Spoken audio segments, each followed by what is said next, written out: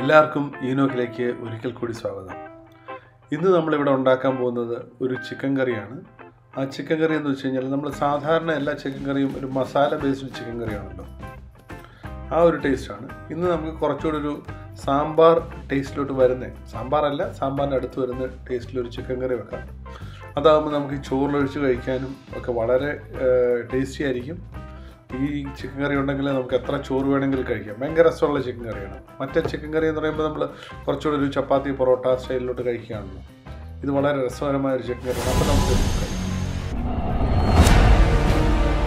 ഇതിന് വേണ്ട ഐറ്റംസ് എന്തൊക്കെയാണെന്ന് നമുക്ക് നോക്കാം. രണ്ട് ഉരുളക്കിഴങ്ങ് രണ്ട് സവോള രണ്ട് തക്കാളി കുറച്ച് കൊത്തമല്ലി രണ്ട് പച്ചമുളക്. ആദ്യമായിട്ട് നമുക്ക് ഈ കിഴങ്ങ് സവാള തക്കാളി കൊത്തമല്ലി ഇതെല്ലാം നമുക്ക് അരിഞ്ഞരിഞ്ഞ് ചെറിയ കഷ്ണങ്ങളാക്കി മാറ്റാം. ഇനി നമുക്ക് ഒരു പാത്രം അടുപ്പത്ത് വെച്ചിട്ട് ഒന്ന് ചൂടാകുമ്പോഴത്തേക്ക് കുറച്ച് വെളിച്ചെണ്ണ ഒഴിക്കാം.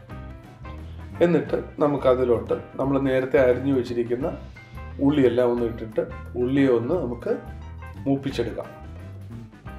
ഇത് ഇപ്പോൾ ഉള്ളി ഏതാണ്ട് എല്ലാം മൂത്ത് വന്നിട്ടുണ്ട്. ഇനി നമുക്കൊരു ഒരു ഒന്നൊന്നര രണ്ട് സ്പൂണ് ജിഞ്ചർ ഗാർലിക് പേസ്റ്റ് ചേർക്കാം. അതിനെ നന്നായിട്ട് ഒന്നുകൂടെ ഇളക്കാം. അതൊന്ന് മൂത്ത് വരുമ്പോഴത്തേക്കും നമുക്കിനി അടുത്ത ചേർക്കേണ്ട ഐറ്റമാണ് തക്കാളി. തക്കാളി ചേർത്ത ശേഷം നമുക്ക് തക്കാളിയും ഉള്ളിയൊക്കെ ഇവനെ ഒന്ന് നന്നായിട്ട് വഴറ്റിയെടുക്കാം. ഈ സമയത്ത് നമുക്ക് ഇതിന്റെ കൂടെ നമ്മൾ നേരത്തെ എടുത്തു വെച്ചിരുന്ന പച്ചമുളകും കൂടെ ചേർത്തിട്ട് നമുക്ക് ഇതിനെ നന്നായിട്ടൊന്ന് വഴറ്റിയ ശേഷം നമുക്കൊന്ന് അടച്ചു വെച്ചിട്ട് ഒന്ന് വേവിക്കാൻ വെക്കാം. ഇതിനെ നമ്മൾ ഇടയ്ക്ക് ഒന്ന് ഇളക്കിയൊക്കെ കൊടുത്തിട്ട് ഇതിനെ നന്നായിട്ട് നമുക്കൊന്ന് മൂപ്പിച്ചെടുക്കാം. അതായത് നമ്മൾ നേരത്തെ ഉള്ളിയും ഈ തക്കാളിയും ഈ പച്ചമുളകും എല്ലാം കൂടെ ചേർന്ന് നമ്മളൊന്ന് മൂപ്പിച്ചെടുക്കാം.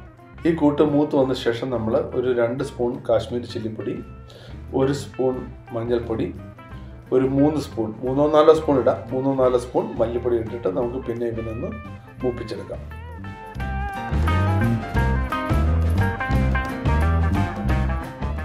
മസാല നന്നായിട്ട് മൂത്ത് വരുമ്പോൾ നേരത്തെ നമ്മൾ കഴുകി വെച്ചിരുന്ന ചിക്കൻ ചേർക്കുന്നു. അത് കഴിഞ്ഞിട്ട് ചിക്കനും മസാലയായിട്ട് നന്നായിട്ട് ഇളക്കി ഒന്ന് മൂപ്പിക്കുന്നു. അധികം മൂക്കണമെന്നില്ല ഈ മസാലയും ചിക്കനും ഒന്ന് നന്നായിട്ട് പിടിക്കുന്ന രീതിയിൽ.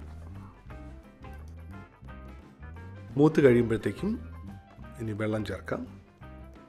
ചിക്കൻ മൂങ്ങുന്ന പരുവത്തിൽ അതിനുശേഷം നമ്മൾ ഉരുളക്കിഴങ്ങ് ചേർക്കുന്നു. ഉരുളക്കിഴങ്ങ് ചേർത്ത ശേഷം ഇതിനെ അടച്ചു വെച്ച് നമുക്ക് ഒരു മീഡിയം തീയിൽ ഇതിനെ ഒന്ന് വേവിച്ചെടുക്കാം. ഒന്ന് തിളച്ചു വരുന്നവരെ അത് ഒരുവിധം തിളച്ചു കഴിഞ്ഞ ശേഷം നമുക്ക് അതായത് ഉരുളക്കിഴങ്ങിന്റെ വേവ് ഏതാണ്ട് പകുതിയാകുമ്പോഴത്തേക്ക് നമുക്കിനി തക്കാളി ചേർക്കാം. അതിനുശേഷം തക്കാളി ഉരുളക്കിഴങ്ങും കൂടെ നമുക്ക് നന്നായിട്ട് വേവിക്കാം. ഉരുളക്കിഴങ്ങും ചിക്കനുമൊക്കെ നന്നായിട്ടൊന്ന് വെന്ത് കഴിയുമ്പോഴത്തേക്കും മല്ലിയില ചേർത്ത് കൊടുക്കുക. മല്ലിയില ചേർത്ത ശേഷം ചെറുതായിട്ടൊന്നുകൂടെ തിളയ്ക്കാൻ വെക്കുക. അപ്പോൾ മല്ലിയിലെല്ലാം നല്ല നന്നായിട്ട് കലങ്ങി ചിക്കൻ കറിയായിട്ട് പിടിച്ച് അതിന്റെ ഫ്ലേവറെല്ലാം ഇറങ്ങിയിട്ടുണ്ടാവും. അപ്പോൾ നമ്മുടെ മനോഹരമായ ഈ ചിക്കൻ കറി ഇതാ റെഡിയായി കഴിഞ്ഞു. ഇത് നമുക്ക് ചോറിന്റെ കൂടെ കഴിക്കാം. ഇത് കൂട്ടി നമുക്ക് എത്ര ചോറ് വേണേലും കഴിക്കാം. വളരെ ടേസ്റ്റിയായ ഒരു കറിയാണ്. അപ്പോൾ ഇതെല്ലാം നിങ്ങൾ ട്രൈ ചെയ്ത് നോക്കുക. ഇനി അടുത്തൊരു വ്യത്യസ്തമായ ഒരു വിഭവം ഒരു വീഡിയോയുമായി എത്തുന്നതാണ്.